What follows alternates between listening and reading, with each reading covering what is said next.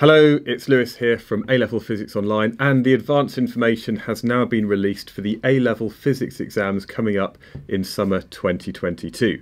Now, the first thing is I would say it is worth going to your exam board website to download the full document, print it off, keep it in your folder, and that's going to help you structure your revision. In this video, I'm going to talk a little bit about how to find that information. I'm going to talk about what the advanced information actually means in practice, and also I'm going to do a quick summary for all of the main exam boards in England. So that's going to be AQA, OCR Specification A, and also Edexcel. I'm just going to do a quick run through of some of the topics which are likely to come up for the higher mark questions. First of all, how to find the stuff? Well, it's pretty straightforward. Go to your exam board website. So, for example, you can easily find the AQA website, and they've made it really easy. Uh, on the front page where it says find out more, um, there's advanced information available now. You can then simply find your subject. So let's maybe choose A level, and then we're going to be choosing uh, physics.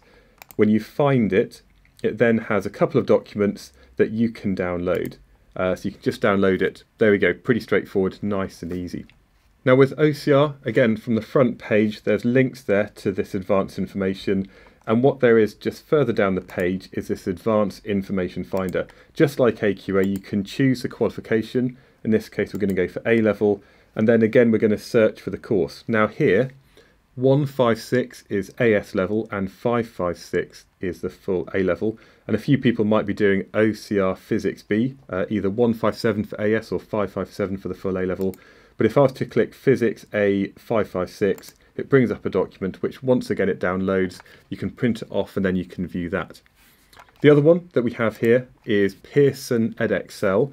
I found this one a little bit more tricky to use because you couldn't just, or I, I couldn't find a way to just download what I needed. But if you go to Summer 2022 support, you'll then find that there's advanced information. And when you click on that link, uh, it will download a massive zipped folder and then you can find the physics or whichever subject you need information within that. So advanced information, go to the exam board website and that will have everything that you need to know about. But in summary, this is what you need to know about. Firstly, the structure and the format of the papers is going to be remaining unchanged. It's going to be the same as all the past papers that you're working through from 2018, 2019 and 2020 and so on. Secondly, there will still be assessment of your practical skills and your mathematical skills throughout the paper. So you need to know about things like percentage uncertainty, the absolute uncertainty, how you deal with anomalous data, and so on. All good standard physics things. The third point is that when the topics are listed, they are given in rank order, and the topic given at the top is going to be the one which is going to be worth the most marks for the questions in the exam. Uh, so basically, they go from highest down to the lowest number of marks in that list. But this is what's really important, okay, and I cannot stress this enough.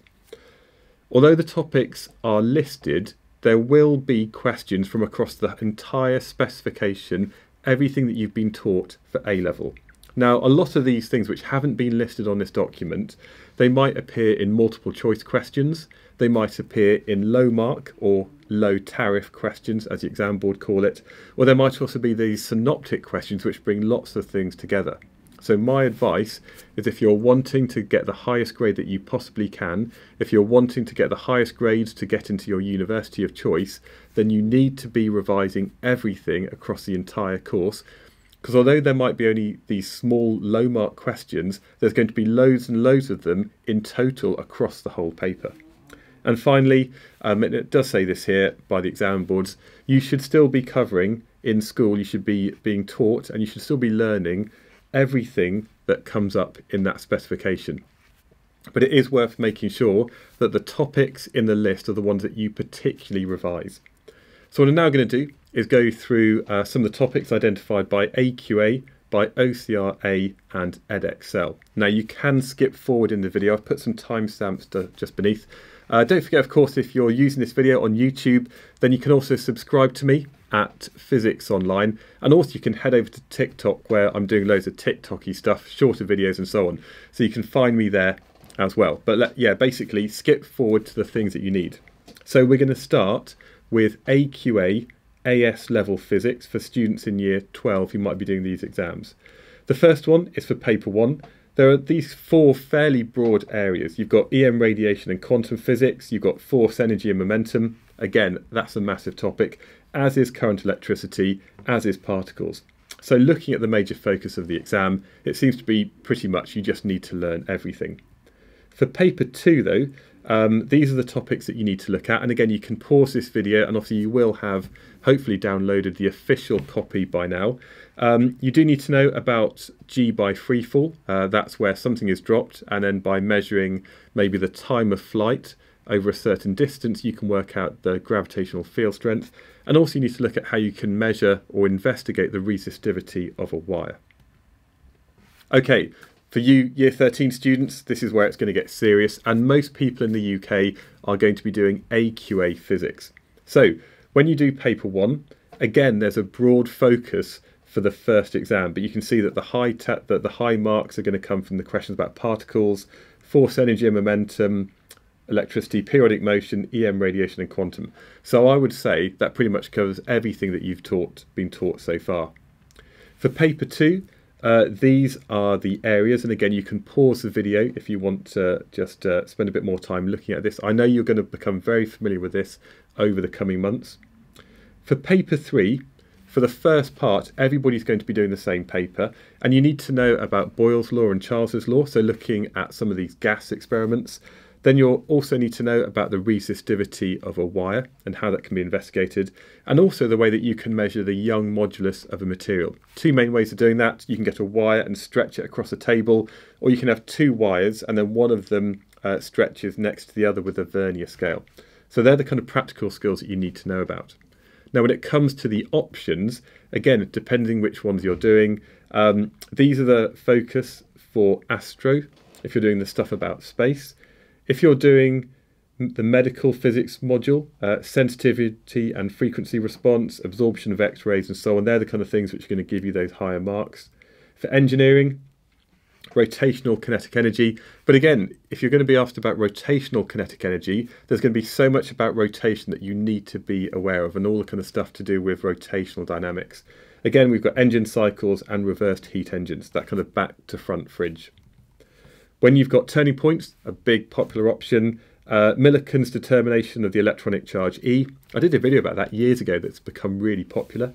Uh, significance of Young's double slit and then mass and energy. And again, I've got videos that support all of this over at A-Level Physics Online. And for the few people who are actually doing electronics, there's probably about 10 of you around the country, uh, inverting amps, uh, combination logic, uh, AM and FM techniques. Uh, so that's basically the stuff that you need to be revising. Now, don't forget, if you are an A level student in year 13, you should buy my premium plan, unless, of course, your school already subscribes. You can do that over A level physics online. It's a one off payment. It's only £19.99. It gives you access to everything on that website, including hundreds and hundreds of additional videos supporting all of this content you're going to be assessed on in year 13. Okay, OCR A students. Uh, I'm just going to talk now about what's coming up in the AS physics exams. So first of all, if you're in year 12 and you're doing paper one, this is going to be the major focus. And from what I can see of paper one, the fact you have to revise all of waves and quantum physics, energy, motion, electrical circuits, Newton's laws and materials, I mean, that's pretty much everything you need to revise anyway. So I would say uh, when it comes to looking at the practical skills, it's hard to know exactly which practical they might be asking about, but there's quite a few practicals from the waves part of the course. Okay, so maybe have a look at some of the videos that I've made over at A Level Physics Online to help you see maybe some of the practicals that you might not have carried out in school. For paper two, um, a lot less in the list actually, forces in action, motion and waves.